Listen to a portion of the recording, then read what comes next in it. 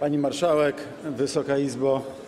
Chciałbym e, w kilku e, krótkich e, minutach podsumować ten problem, który dzisiaj Polaków rzeczywiście bardzo nurtuje.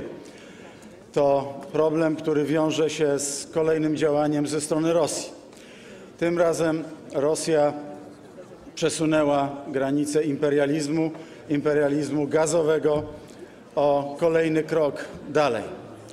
To bezpośredni atak na Polskę, na Polskę, która wczoraj pokazała, czym jest realne uderzenie w rosyjskich oligarchów. Przedstawiliśmy pierwszą listę rosyjskich oligarchów, rosyjskich przedsiębiorców i w zemście za to z tej strony Kremla popłynęła groźba. Następnie ta groźba dzisiaj rano została zrealizowana groźba odcięcia gazu. Ale szanowni państwo, drodzy rodacy, my do tego momentu się przygotowywaliśmy. Przygotowywaliśmy się od lat.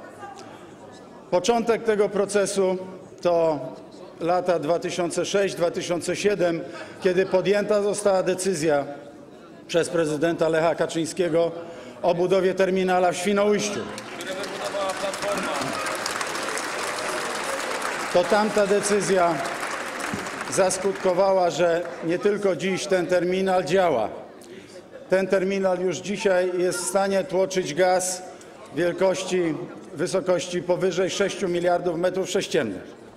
Ale rozbudowujemy go sukcesywnie, zwiększamy możliwości przepustowe i przez ten terminal już wkrótce będzie mogło płynąć 7 do 8 miliardów metrów sześciennych gazu. To także działania, które podjął rząd Prawa i Sprawiedliwości, a które zostały powstrzymane dawno temu przez Lewicę. Gazociąg bałtycki do Norwegii. I ten gazociąg, szanowni państwo, będzie wybudowany już w ciągu najbliższych trzech miesięcy. Zakończony proces, odbiory i od października możliwość tłoczenia gazu tym gazociągiem. Polska jednocześnie też budowała interkonektory. Skończyliśmy budowę na Słowację, czekamy na zakończenie budowy ze strony słowackiej. To nastąpi bardzo wkrótce. To możliwość pompowania gazu, tłoczenia gazu w wysokości powyżej 5 miliardów metrów sześciennych. Mamy interkonektory z Niemcami, mamy interkonektor Morawia z Czechami, mamy także otwierany już wkrótce, za kilka dni interkonektor z Litwą, którego przepustowość będzie około 2 miliardy metrów sześciennych. Polska zużywa 20 do 21 miliardów metrów sześciennych. Produkcja krajowa to 4-4,5 miliarda. Poprzez gazociąg bałtycki możli będzie możliwe tłoczenie gazu w wysokości wielkości 10 miliardów metrów sześciennych. Poprzez gazociąg, poprzez gazoport w Świnoujściu 7 do 8 miliardów metrów sześciennych. Wystarczy policzyć, szanowni państwo, te wielkości, żeby zrozumieć, że dzięki naszym działaniom Polska od jesieni w ogóle nie będzie potrzebowała rosyjskiego gazu.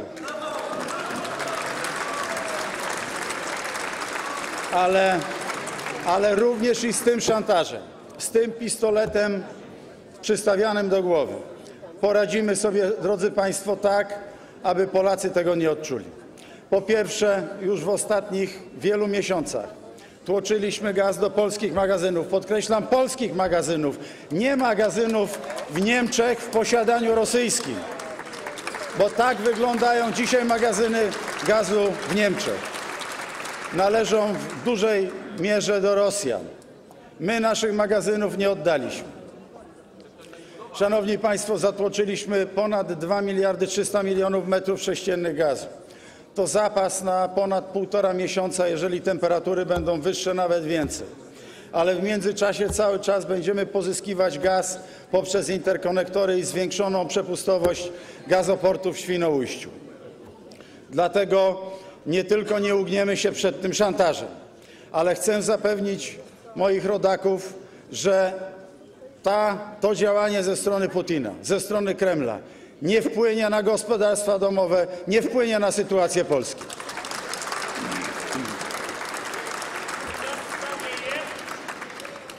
Jednocześnie też chcę powiedzieć, zapewnić, że specjalne taryfy taryfy dla gospodarstw domowych, dla szpitali, dla szkół, dla instytucji użytku publicznego zostaną przesunięte do roku 2027.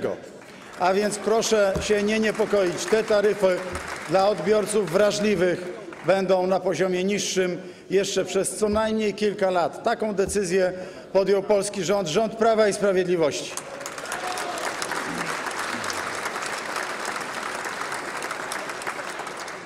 Szanowni Państwo, Rosja nie tylko dokonała brutalnego, morderczego ataku na Ukrainę, nie tylko morduje tam kobiety, dzieci, żołnierzy, ale Rosja zaatakowała także bezpieczeństwo energetyczne całej Europy, bezpieczeństwo żywnościowe całej Europy. I Rosja zaatakowała gospodarkę Europy poprzez działania inflacyjne. Ta putinflacja, która jest dzisiaj w wielu państwach, właściwie we wszystkich państwach Europy, dzisiaj ma swoją kolejną odsłonę. Kolejne działanie putinflacji to właśnie to, które ma doprowadzić do jeszcze wyższych cen gazu. Ale szanowni państwo, jak Ukraina jest dzisiaj na pierwszej linii frontu, tak my wszyscy, wszystkie kraje Europy musimy zdawać sobie sprawę z tego, że jest to bój o wolność, bój o suwerenność, bój o bezpieczeństwo, bój o pokój. I nie możemy się ugiąć. I nie ugniemy się. Będziemy, szanowni państwo, robili wszystko, aby nie tylko polskie gospodarstwa domowe nie ucierpiały, o tym powiedziałem, ale także, żeby polska gospodarka na tym nie ucierpiała.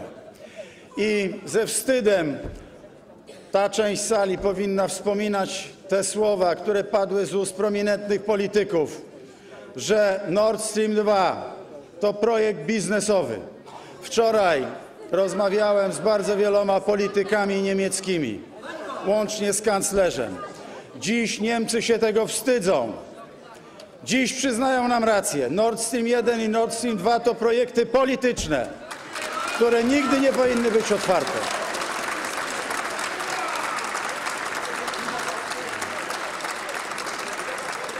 A gazociąg bałtycki nie jest pomnikiem. Jest jednym z najbardziej wartościowych polskich projektów. Projektem, który dzisiaj jest projektem, który da nam nie, niezależność, suwerenność energetyczną, suwerenność gazową, pełną suwerenność gazową już od jesieni. A do jesieni, drodzy rodacy, damy radę, zabezpieczymy sobie dostawy z innych kierunków i rosyjski szantaż gazowy wobec Polski nie będzie miał żadnego skutku. Dziękuję bardzo. Dziękuję bardzo. Proszę Państwa,